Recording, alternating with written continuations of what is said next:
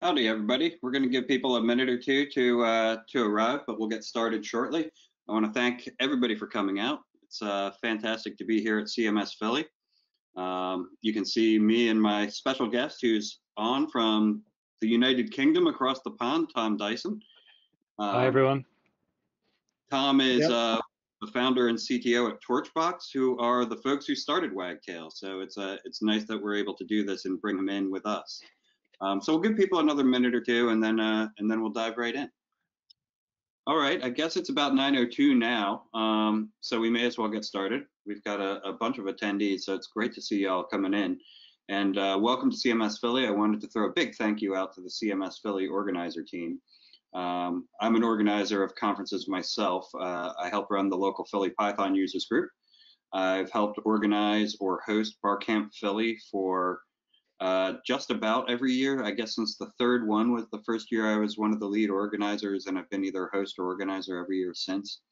And uh, I help run DjangoCon US, so I really uh, appreciate the organizers. So if you see any organizers over the course of the day online, uh, working hard, organizers or volunteers, be sure to give them a virtual pat on the back for a job well done, um, because this is a lot of work, and uh, especially navigating having to do it virtually online, they definitely deserve our gratitude and appreciation. Um, so without further ado, welcome to uh, Wagtail, the only CMS I still love after years. Uh, my name is Timothy Allen. I'm an IT director uh, over at Wharton Research Data Services at the Wharton School. My pronouns are he, him, and I'm Flipper PA online basically everywhere. So uh, GitHub, Facebook, Twitter, feel free to track me down and ask any questions. And uh, like I mentioned earlier, we've got a special guest, Tom Dyson, on, who's the founder and CTO of Torchbox who are the company that started Wagtail and uh, still are the maintainers of the open source project. Um, before I go any further, I want to give a big shout out to my cat Madeline. Today is her 18th birthday, and she would be quite cross with me if I did not wish her a big happy birthday. So happy birthday to my kitty. Um, so I want to start with a little bit of a disclaimer. Um, I absolutely love WordPress. I know it well. I've used it frequently over the years, and it's a great tool. Um, it's a great blogging system, but I've noticed over the years I had a tendency to try to make it do way too much. I am very guilty of that. I tried to make WordPress do everything over the years instead of letting it do what it does well. And I've noticed that I'm not the only one that does that. And uh, during this talk, um, there are several points where I'll show anti-patterns within WordPress. And this is by no means to bash WordPress. Um, it's a great system, um, but there will be times where I, point out some uh, some things it doesn't do as well as perhaps some other systems do. Um, there are plenty of things it excels at, though. So I just wanted to get that out of the way up front and first.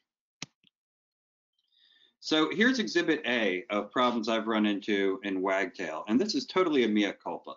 So this is a website we did for my division of Wharton a couple years ago, Wharton Research Data Services, uh, where we decided we had to create a private Stack Overflow community within our site.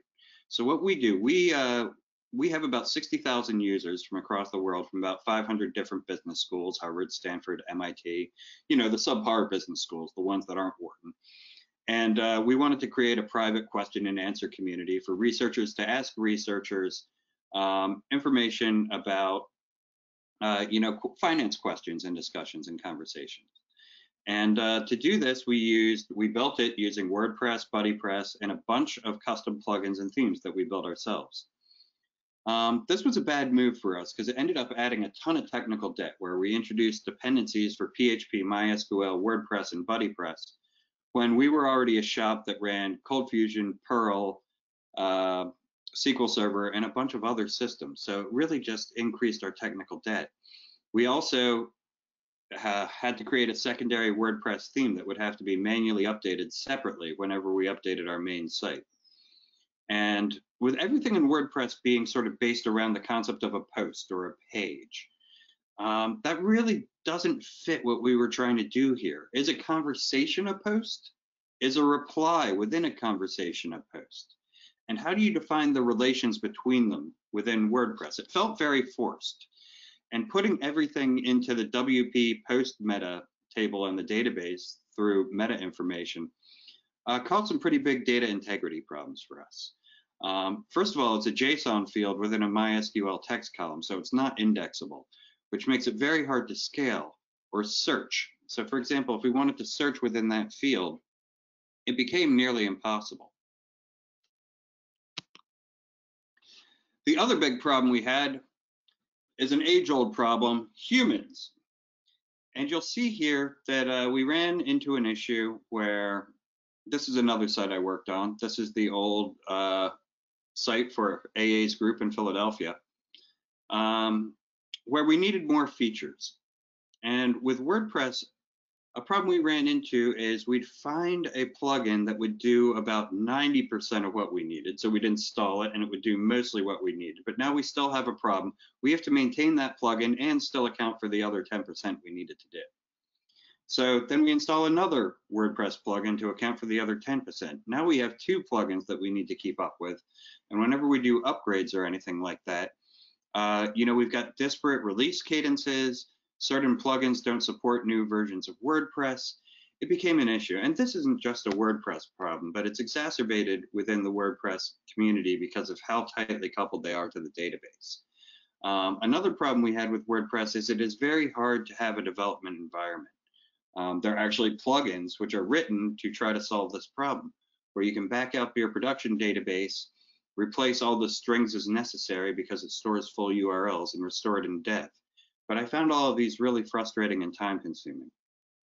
And, uh, you know, when you're using base WordPress for something, you have to learn one way of doing things. But if you have five plugins, you have to learn five different ways of doing things. So for us, it became clear that, uh, you know, in both of these cases, we had a square peg trying to go into a round hole. Um, within WordPress, everything all these plugins were cramming everything into the body and the content field. And these short tags that got inserted were a nightmare that kind of locked us into those plugins. So for example, if we were using a gallery ID that used a short tag that put them within the text, what happens if that gallery software stops being supported? Um, it also makes search very difficult because looking within the body field, trying to feed that to any search engines such as um, you know, Elasticsearch or something like that for a search, uh, becomes very tricky. Um, so WordPress's search was always always a challenge for us. Um, anything beyond the base offerings of MySQL's like functionality um, became very problematic for us. And uh, you know, we ran into problems where there were security holes in plugins that were no longer being supported by their author. And um, there was no common interface between the plugins as well. Some plugins had their settings under a plugin part of the menu, while other plugins put their plugins under the part of settings. And if we slide back a slide, you'll see here, if you look carefully at this, you'll see that the left-hand navigation is so long that it goes off the screen. And uh, on the right-hand side, I did a sort of mini map like you'd have in a code editor where you can see how far that left navigation goes on and just how long the main part of the screen does. It really became untenable. So again, this isn't to bash WordPress, but this is sort of human nature, is once we're locked into a solution to try to keep going with it uh, to the bitter end. So some quick definitions before we dive into sort of why we landed on Wagtail as a solution for these problems. But Python is a general purpose programming language. It can be used for processing data, making music, building websites, and much more. Django is a web framework written in Python. Instagram, Pinterest, and the Washington Post all use Django. Um, Wagtail is a content management system for Django. It is used by many well-known entities, Wharton, Google, NASA, the Royal College of Art, and HTTP is a protocol that powers the entire web. It takes a request and returns a response. All of those tools are open source, which means they are developed by a community and the source is freely available. This also means how we can see how all of it works. Um, a lot of WordPress, that is true too, but many of the plugins are also paid. Um, so Wagtail, what makes it special? Wagtail is different from other CMSs because upfront, Wagtail says you need a developer. So there's no quick start and it encourages upfront planning. Um, you know, with many CMSs, you hear about, you know, oh, it only takes five minutes to install and it's so easy to use and you can just install plugins. But I found that doesn't tend to be true. It's like, you know, when I've used WordPress in the past, it's like, oh, you don't need a developer until you want to do anything and then you need 10 developers. so, you know, I, I, don't find that statement to be very true. I think if you really want to customize CMS, you're going to need a developer, and Wagtail is honest about that up front. It also provides a beautiful, simple interface for content creators that we'll go into where accessibility is not an afterthought, it's baked into the progress. Um, you can define relationships between content. Uh, you define the structure of the content, and a lot of this is done through the underlying Django ORM, the object relational mapper. So it gives you programmatic control of different content types. And it's it's a library that works within the Django ORM, extending what we get through Django models. So you can use things like foreign keys, and those relationships express themselves in the admin interface. We'll see that in a minute. And Wagtail is just Django, and Django is just Python. So you get access to the entire mammoth ecosystem of Python packages at your disposal. It's one of the most impressive ecosystems I've ever seen of software. Um, you know, Python has been in the news a lot. It's trending up, up, up. It has been for years. And the ecosystem of scientific learning packages, machine learning, AI is absolutely incredible. And being able to tie these things into your CMS is really amazing. Uh, some of the demos Tom has done, done in the past of using AI to automatically do things like upload 100 images and have them automatically get tagged and add descriptions are pretty cool. And, uh, and you can see them on YouTube. Um, but I wanted to give a special shout out to the stream field. Um, the stream field was the first killer feature of Wagtail, in my opinion, and what really sold me on it. It keeps content structured and it separates your display data, your CSS and your HTML from your content. What it does, it allows you as the developer of the content management system to develop different pages where the writer, the content creator, has access to different types of blocks. And a block could be a table, it could be an image, it could be a paragraph, it could be a header. We can define these blocks ourselves and then we can define what blocks the content creator gets to use. So rather than jamming everything into a body field, we get to give them the freedom they need and the admin the structure they need. This also makes search much more straightforward. Also, the WYSIWYG within Wagtail doesn't store as HTML in the database. It actually stores everything as JSON that is then converted to HTML on display. So structure is forced at every level. And this structure, you can index JSON within most databases. Also with Python, Django, and Wagtail, you're not locked into MySQL. So if you want a database that may have more features, such as Postgres, which contains the ability to index JSON as well as a really killer full text search, um, you can switch over to Postgres or SQL Server or Oracle or even SQLite. So before we move on to my next slides on 12-step recovery, let me hop over quickly and show you some of the things that we do. So over here, you can see a package that I've open sourced called Wagtail Content Stream. And what this contains is my most used stream fields. So if I come in here, I'm going to show you how I define a few blocks. So within here, you'll see that Wagtail comes with a whole bunch of blocks out of the box. So a choice block, a rich text block, a text block, a struct block, a stream block. Most of them are pretty straightforward, but you'll also see uh, document chooser blocks, embed blocks. These all come out of the box. And then a third party one that I've wrote is a code block. So you'll see here, I've taken a block, an image chooser block, and put it within another block, a cap captioned image block, where I want to be able to not only provide an image, but also a caption, a credit for the image, an alignment for the image. And then I put that block within a content stream block, which is what the actual editor will see. So within this content stream block, you'll see they can choose a heading, a paragraph, an image, a document, and embed a table or code. So what did that look like within the editor? I'm glad you asked.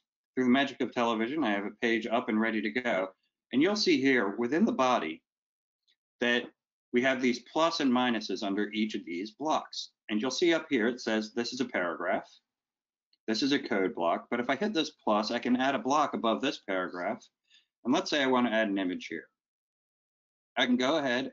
This is the image block that I just showed you in code that also has the caption, the credit, and the alignment you'll see through a straightforward definition, I can have pretty granular control about all, how all this works. So let's align the center. Let's credit this to CMS Philly and put a caption of Skyrim VR is beautiful. And if I go ahead and preview this,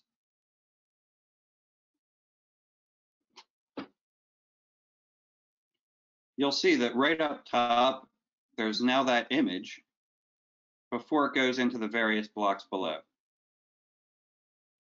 So that happened pretty much instantly. Now, if I come back and I'll show you that code block that you saw that I made an example of, you'll see it's not just different piece, you can inject JavaScript and other pieces to make these very robust. So if you take a look here at the code, I've selected Python. Now if I start typing in real time, for x in range 1 comma 5, print x, import this, you'll see in real time it's giving me syntax highlighting as I code right below. So if I go ahead and preview,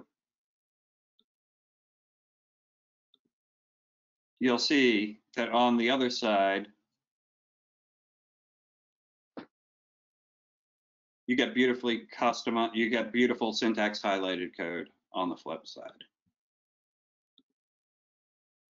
So that's an example of how the blocks all work together. So that was really a killer feature for me. So getting back to the presentation, what does this all have to do with 12-step recovery? Well, 12-step recovery groups are anarchies in the best sense of the word. And AA is probably the largest, but you've probably heard of other 12-step fellowships such as NA, uh, Narcotics Anonymous, Overeaters Anonymous, Gamblers Anonymous, Cocaine Anonymous. There's there are a ton. And um, how does Wagtail help these recovery groups? Well, tradition four of all 12 step groups states that each group should be autonomous except in matters affecting other groups or AA or the recovery group as a whole. And intergroups exist in the same manner, which serve the meetings in a given area. So, for example, Philadelphia is served by SEPIA, the Southeastern Pennsylvania Intergroup of Alcoholics Anonymous. And uh, since the 1940s, this has made it extremely difficult to keep an up to date worldwide database of meetings. All attempts have failed when there's been a central organization which intergroups would report changes to. But technology has changed this, and we started by creating a WordPress plugin that any of these groups in any city could use. But many different groups use different technologies. WordPress, Drupal, the MS Stack, Django, Flat HTML, and WordPress just wasn't scaling for some of these larger groups. We also had created an app that kind of sat as a parent to all of these groups worldwide and it would pull from APIs each group. So as the group updated, we for, for the first time had a worldwide database. Um, but I decided once we had sort of outgrown our WordPress installation here in Philadelphia, um, to give it a try with Wagtail. And it's been a night and day difference for the folks in the office as well as our scale. And we've put a React front end in front of all this that is now going to end up being shared between uh, WordPress, Drupal, uh, Django, Wagtail, everything will pull in through the same API. So the same API that is feeding the mobile app for iPhone and Android will also be feeding our web front end rather than having two separate courses. So this is the old setup that used to exist within the Philly AA office where you had the internet. We had a web server out in DigitalOcean that hosted Linux, Apache, MySQL, PHP, and WordPress and then a bunch of local PCs and a file server with MS Access and QuickBooks. And a Python script would export the current AA meetings from MS Access in the office into WordPress versus via a very ugly ETL process every day at 5:45 a.m. All the meetings were geocoded against Google's geocoding API en route. But this is where I became very familiar with how ugly storage within the WordPress database can be, and uh, how much goes into post meta and uh, how sort of arcane, what kind of arcane sorcery you need to know to muck about in there. And uh, the meeting and location data were both stored in WordPress as custom post types, but is that really the best way of doing things? Um, so we decided to try a different way. So without further ado, let's go back to the live demo.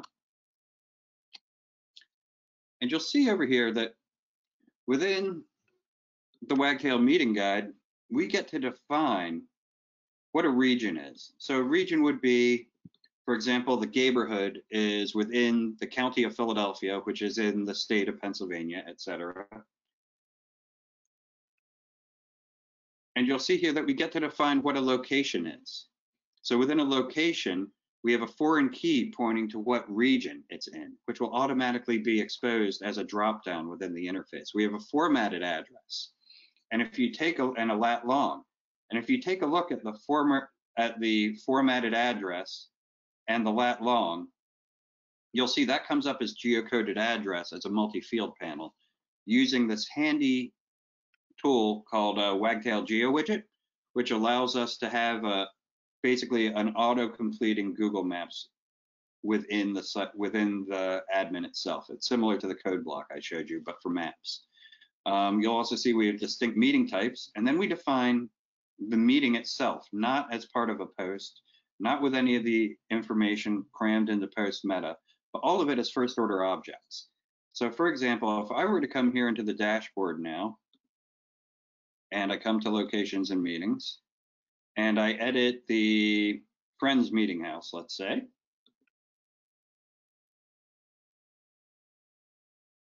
You'll see within the Friends Meeting House, after the definition I've just given, we'll have a region that's a dropdown because it's a foreign key to another model object. So it keeps a strict definition there. We can include any details.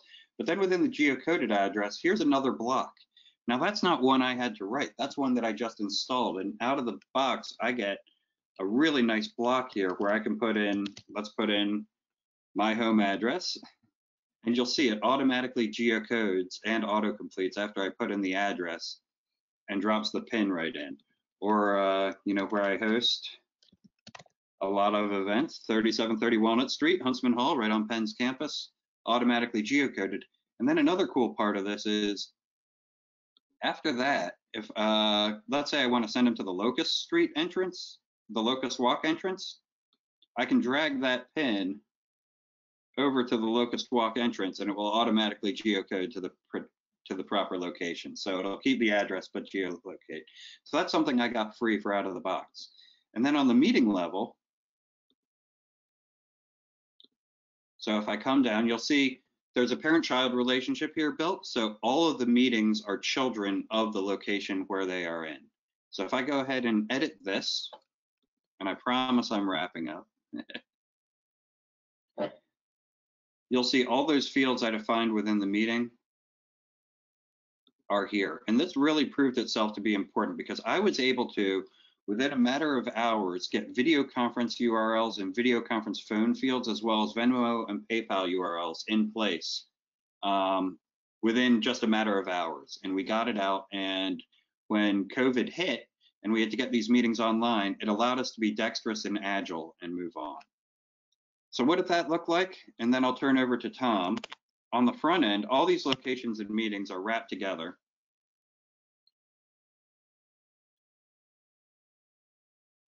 Sorry, I'm asking my old MacBook to do a lot of work here.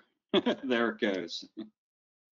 You'll see within here we have a React front end. So all of those are exposed through an API a RESTful API that the React front end then picks up.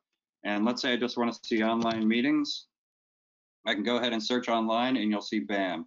Here are all the online meetings. And if I want to go to, uh, to a specific meeting, I can bring up meeting details in the React app and you'll see there's a big join button for the video conference and voila. So it's come a long way. And one last thing I will show you, because this is pretty cool. If I come to one of the pages, and let's just hop into the edit page. What I'm going to do is hop over here to a random Google spreadsheet, and I could come to any spreadsheet I want, whether it's a uh, Google or not. I'm just going to select a whole bunch of random data from this spreadsheet here, from the My Minions spreadsheet. And let's say I want to add a table in here.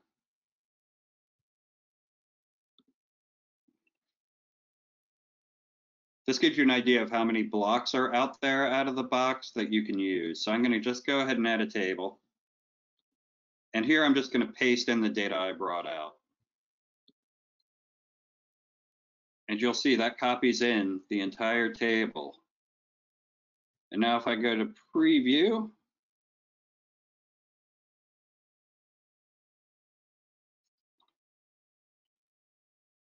you'll see that in the middle of here, we have that table data displayed right within the page.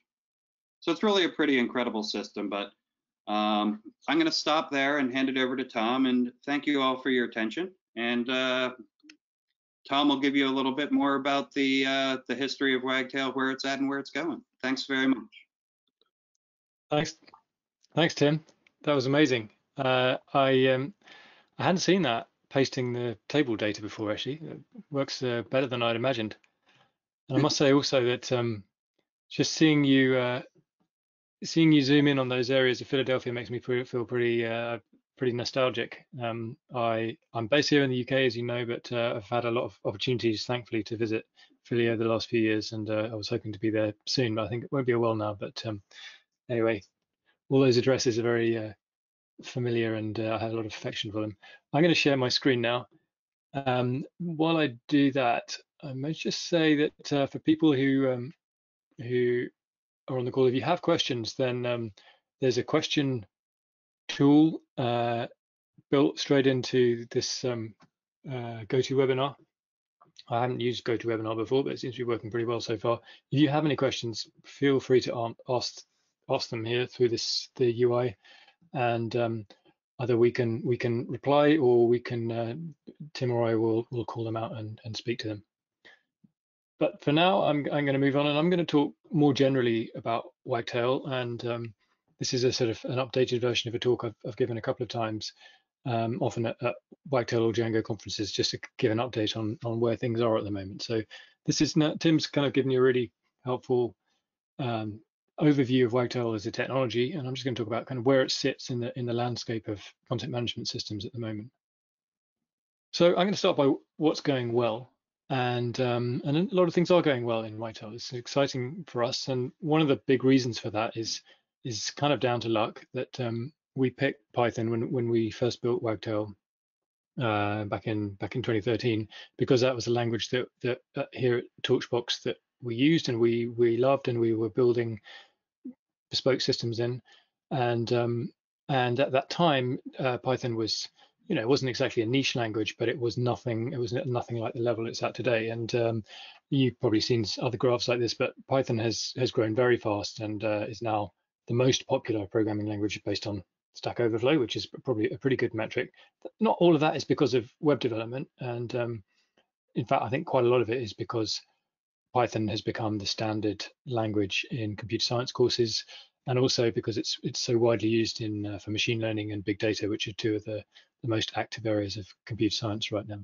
So we've been lucky with that, really. You know, we picked we picked Python, and uh, Python's carried us a long way. Uh, also, Wagtail's doing well, and I use winning here in in a in a uh, with a kind of uh, air quotes because you know we're not. Uh, this isn't a big competition, and there are lots of fantastic tools out there and um, but you know when we want to kind of measure how we're doing and the impact we're we're having we we compare ourselves of course against other systems. And particularly in the python world there are a few excellent content management systems. One of the metrics we use which i know is flawed is uh, is github stars. So i guess that's a kind of measure of interest in the general developer population. It's it's definitely not uh, it's yeah it's, it's a flawed metric but it's you know it carries some weight. And um, we're we're on nearly nine thousand stars now, which is um, you know it's amazing for us as a, a, fairly small team here in the UK that to to see this thing grow and be used around the world, and as well as all those you know thousands of people using Wagtail who we'll never know about, there are quite a few big names who we do know about, and um, and this this has made it really this has really helped us, uh, especially reassuring. Here at Torchbox, we work primarily in the non-profit sector, so we we we seek clients who are making the world a better place, and um, and that's that's that's really rewarding, but also uh, it has its own challenges, and often people in that sector are quite risk averse, and so for us to be able to say that Wagtail's now being used by Google, so for example, uh, Google.blog and Google Cloud blog, uh, Wagtail, or by the National Health Service here in the UK, which is I think still the world's fifth biggest employer uh, uh, increasingly by NASA, um, and uh, it looks like the Jet Propulsion Laboratory are about to switch to Wagtail for their main site, and also Mozilla, which is lovely because Mozilla, you know, unlike unlike some of the other names on this list, are, um, very open about everything they do. So uh, all of the work that Mozilla is doing in Wagtail, like the new um, developer.mozilla.org, is all open source. You can look at it on on GitHub, and that means that you can you can learn from their own implementations. So you know, we we don't want to kind of stress too much on these big names, but it, it definitely helps us from a kind of marketing and reassurance point of view to be able to point to these these names. And th these are not just, you know, a lot of people kind of claim uh, claim claim these big brands for their technologies, but these are not kind of little bits of the NHS or Mozilla. This is the main NHS website that's currently getting, I think, 90 million sessions a month, uh, up from 45 um, in the current crisis over the last year or more like six months, uh, we've shipped some pretty big features in Wagtail, and um, uh, the top of that list is uh, updating to to match the latest versions of the, the, the language and the platform that we run on. So as Tim said, it's Python content management system. The, the current latest version of Python is 3.8. So a lot of interesting features in 3.8 and uh, and Wagtail now supports that. So if you want to take advantage of those new features, then you can you can do that with Wagtail. And similarly, Django 3, um, although it's quite a big number uptake, actually it's not a, it's not there weren't so many huge changes in Django 3 compared to the the 2.x branch, but um, it's really important for us to to stay relevant and to make sure that we're tracking the Django updates frequently because we want to be you know, the, the, of course, the content management system of choice for people who are using Django, who, who generally people who, you know, want to use the, the latest and greatest features. Um, I'll talk briefly about release cycle actually while I'm on this. Uh, we we had um, before before we built uh, adopted Wagtail, at Torchbox, we were big Drupal users um, for about seven years. Uh, we were building, I think, probably some of the biggest non-profit Drupal sites, particularly in the UK and, and, and, across Europe. And Drupal was wonderful for us in many ways, a very powerful tool, and um, uh, you know a lot of flexibility. But there are also some some things about it which we struggled with from a technical point of view, but also from the way the project was run.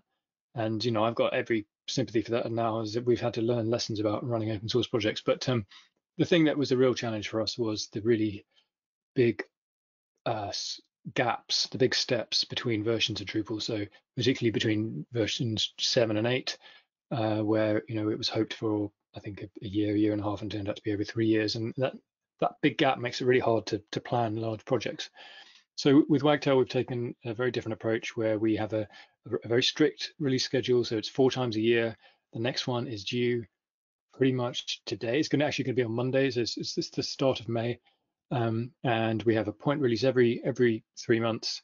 And uh, and although that means sometimes we have a, re a, a, a, release without a load of really glamorous features that we can talk about, it does mean that we uh, that the upgrades are straightforward. They should take, we target under half an hour for anyone to, to, to run an upgrade. Um, and, it, and that predictability, I think, is really important for our audience. Uh, I won't go through all of this, but uh, another big feature is, is workflow, customizable workflow. I must say this is something that we've um, we've slightly resisted over the years. It's always felt a bit like one of these kind of um, uh, enterprisey features that uh, that that people think they want but don't actually use. But we're starting to to understand ways that particularly big organizations, big news organizations need more complex workflows. So for example, the ability to say, for this type of content, we want to uh, we want to uh, draft, write it, and then uh, ask our legal team to moderate it. And when the legal team are happy, they're going to push it to the editorial team to review, and then it goes live. Um, and uh, so coming up with a solution that that is going to handle more complex workflows like that, but at the same time doesn't add unnecessary complexity for, for normal users has been a challenge, but it's one that we're addressing now. Um, this we're being funded to do to work on this by the Motley Fools at fool.com. Um, some of you may be familiar with uh, who, who who have adopted Wagtail in a big way and are being really, I think, excellent sort of progressive supporters of this uh, open source community. So we're really grateful for their support and their willingness to to and encouragement of us to to to build this in a way that's going to help everybody. Uh, I'll just mention accessibility as well, which has been a big focus over the last year, and particularly from the wider community. Uh, we, we run a few events and sprints, and uh, accessibility is often one of the topics that uh, gets people most excited. And I think this is, um, you know, it's it's something that that open source products don't always have a great story for, and uh, we just want to. We our, our goal is that that Wagtail as the you know the edit interface, the admin interface should be accessible to everybody and not not just in a kind of checkbox way, like making sure we're providing alt text and so on, but in a way that kind of really tries to thoughtfully respond to to those requirements. And it's a kind of it's a it's a double it's a double point really because it's uh, on the one hand we want to make sure it's an accessible tool for for uh, for the users of the CMS, but we also want to we want to help authors and editors create accessible websites. And Wagtail's kind of unopinionated about the sort of sites you create, but we want to sort of guide people in the way to make it as easy as possible for people to make the right decisions about accessibility. Um, we've we've we've lent on we've we've made quite a big deal about events over the years, and um, I think having people come together in in real life has been a really wonderful part of the community. Um, this the the current situation means that our plan to run Wagtail Space US, which for the last few years has been held in in Philadelphia at, at Wharton, uh, won't happen in in the physical realm this year, but will happen online, and uh, that's scheduled for end of July. And that, like this, will be our our first virtual online conference. So really, um, this this experience for me actually is interesting to see how that might work. And we're hoping for uh, for an event in Iceland in September or October, um, depending on what the, the kind of travel situation is by then. We have a growing team. The, the, the core developer team is I think 19 or 20 now from around the world. Uh, we have a weekly meeting which we now have to do two times a day. So we alternate between morning in the UK and uh, end of the day in the UK so that we can, so that people can can join from east and west coast US and uh, the Philippines and Australia and uh, you know around the world.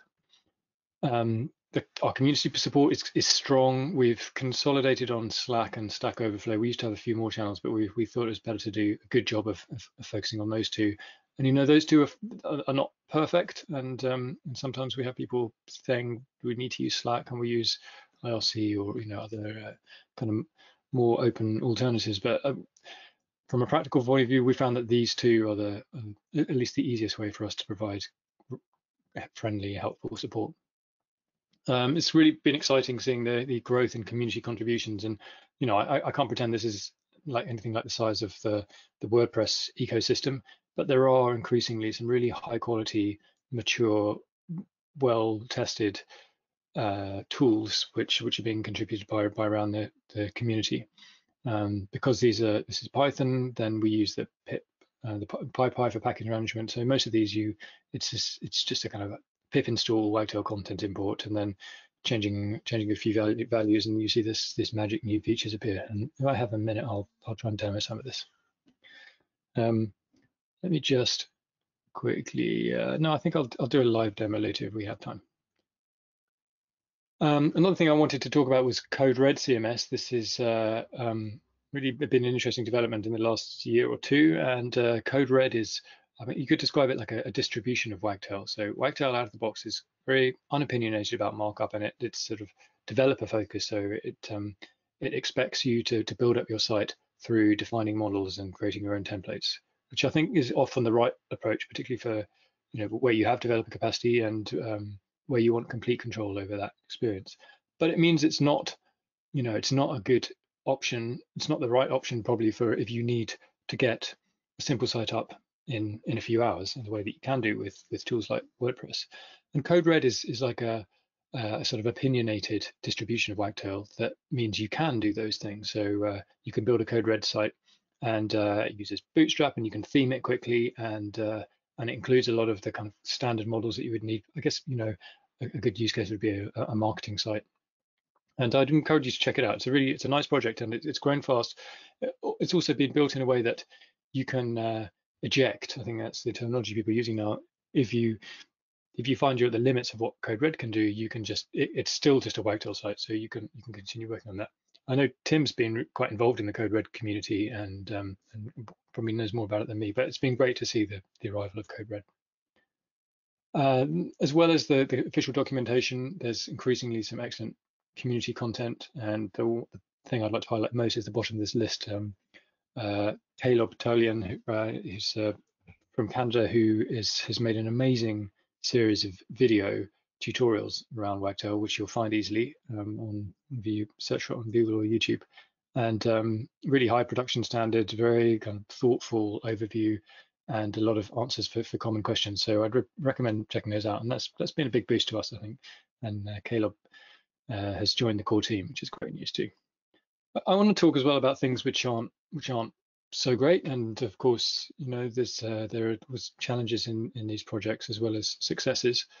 Um, first is probably around front end tooling, and this is something that I guess if you were if you wanted to implement Wagtail to build your site, then this probably wouldn't concern you. But for um, developers working on Wagtail itself, improving it, this is becoming a bit of a pain point. We we when we built Wagtail in originally in 2013, it was quite you know quite kind of clean, well-designed implementation based on Django templates and jQuery. And um, as that has uh, as, as it's got more complex and we've got stream fields that allow all the sort of um, flexibility that Tim described, then some of those decisions are starting to creak a bit. And uh, you know, ideally, I think we would we would refactor a lot of this and probably turn it into uh, a React app with you know using the, the built-in API and um, we and uh, and presenting the the UI in, in, in a modern JavaScript framework of some sort. And you know, it's a, it's a bit of a challenge because that's a lot of work. I think that could be you know six months refactoring work that won't have an immediate benefit to the to the end users. It, authors may not even notice the difference, but it will mean that um, as a as a platform for us to continue improving, then we're using modern technologies which which don't slow us down. This is a related point, really. There's there's a lot that we'd like to do to improve the UI. The UI I think is is really nice, and is, that's one of the reasons of its success over the years is that uh, we put a lot of attention into this. But as um, uh, as for the reasons I just gave, it's not as easy as we would like for us to kind of really keep maintaining it as kind of the, best of breed user interface. Diversity. This this this is referring to the diversity of the team really, and uh, um, and and and you know the the most common contributors. This is not a problem that's unique to Wagtail at all, but most of the most of the people in the team and most of the people contributing on GitHub and elsewhere are white men and um and you know we'd really like to we'd really like to change that. It's not it's it's it's uh it's complete it's all not all white men at all of course but we we we want to represent uh you know the, the diverse diverse society that that we live in and uh, and you know we're, we're we're making some efforts to improve that but um, i'm really uh interested in ideas people have to to help deployment remains a bit of an issue. Um, so this is once you've built your site, getting it live. And again, this isn't this isn't at all unique to Wagtail, but is it's just it's still really the story a bit for Python web apps where uh, it's um this you know even I don't know ten years on, it's uh it's not as easy as it should be to take your app and put it live. And there are some good solutions. There's uh, so Divio.com have have made some really uh, good progress in this area. And um, Heroku is a good option for a lot of people. And you know things like Zappa, serverless um, serverless Python on, on AWS, and more recently Google Cloud Run, which I really like. These are all really good options, and, and you can you can use particularly the last two, the serverless ones, to, to create massive sites that scale to millions of users.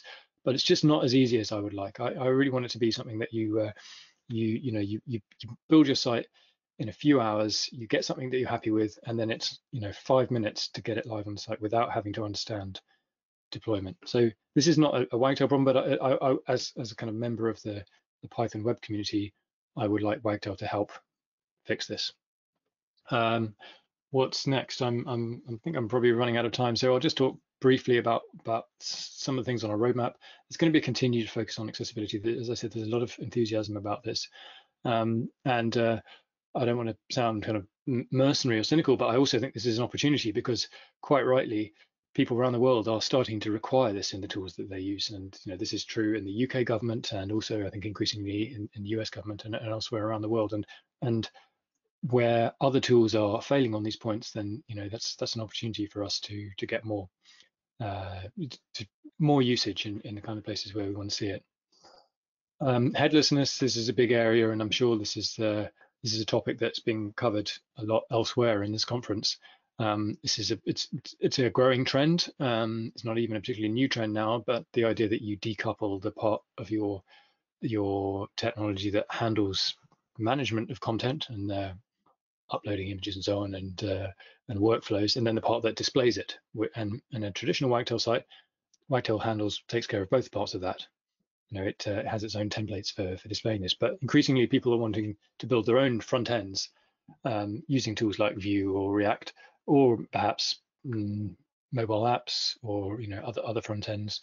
And um, and Wagtail handles this pretty well. It has a has a built-in REST API that was actually originally refactored by uh, Tom Christie, the author of Django REST Framework, who's pretty, you know, is a big name in the Django world. Um, and uh, and it's it it so it does a good job of this, but we don't promote it very well. So uh, I think we can do a better job of marketing that and and providing documentation.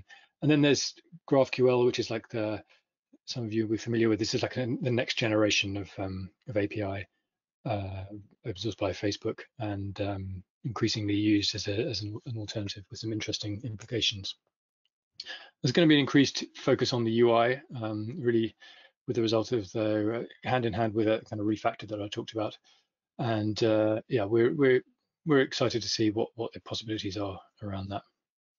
And internationalization is another area where um, Wagtail Wagtail you know, there has, has supported multi-language sites from the beginning, but there are maybe three or four different routes for doing this at the moment. There's a quite a popular option called Wagtail Model Translation, which is built on model translation, which is quite a, a well-known Django feature.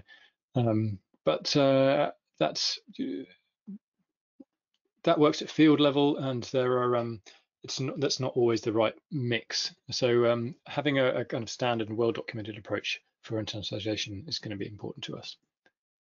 And I think I'm going to end on documentation, which probably perhaps not the most exciting ending, but um, I feel like this is one of the most important parts of an open source project, and uh, we've we've done pretty well with this. Particularly, um, uh, Wagtail's documentation is quite comprehensive, but it's uh, it's not it's not always easy to find the answers that you want, and um, we also have a few little gripes with the the system that we're using to generate it. We're using restructured text, um, which is uh, runs on sort of a system called Sphinx, and uh, I think just Markdown is a much uh, easier format to work with. So we're looking at um, replacing our documentation, at least the documentation engine, and then starting to rewrite the documentation. And I think that although it's not the most glamorous part of an open source project, it's it really is one of the most important because if you can, if your documentation is good enough to draw people in in the first 20 minutes and give them a feel of how the project works and how they can get started, then I think that's the difference between rapid adoption and uh, people moving on to see the next shiny thing. Uh, I think I'm going to wrap up there. Um, and uh, I don't think there are any questions, but um, if anyone has, if anyone still here is, is, interested, then then they should ask here, or otherwise feel free to uh, to ping me or Tim on uh, on on Twitter. Um, I'm available on Wagtail CMS and also Tom D. Uh, and I'll, the last thing I'll say is uh, is about the uh, the Slack channel, which is pretty active and supportive, and that's at wagtail.io forward slash Slack. Tim, any last things from you? No, I think you covered it beautifully. I just want to say thank you to everybody for coming out and taking a look. Um, this is also being recorded, so if you're seeing this on recording, please feel free to also join us on the Slack, um, on the Wagtail Slack, or catch either of us on Twitter, as Tom said. Um, and uh, and get involved. It's it's been a really great project, and you know to tie things together. Um, you know, after a couple of years, every CMS I've worked with in the past um, has begun to show its warts and things like that. And while Wagtail is not perfect, we'll keep working on that. Um, it has been flexible enough that I haven't had to just throw everything up in the air and start from scratch. Um, so it's been great for me that way. And uh, as you can see, I've gotten more and more involved. It seems like just yesterday, Tom and I met, but it was actually 2015 now, back in uh, back in Austin, Texas, at DjangoCon 2015 was when we first met. And I mentioned that we were trying the beta of Wagtail for Wharton, and uh, the start of a beautiful friendship. That's right. Here we are today. Thanks, Tim, and thanks everyone for coming.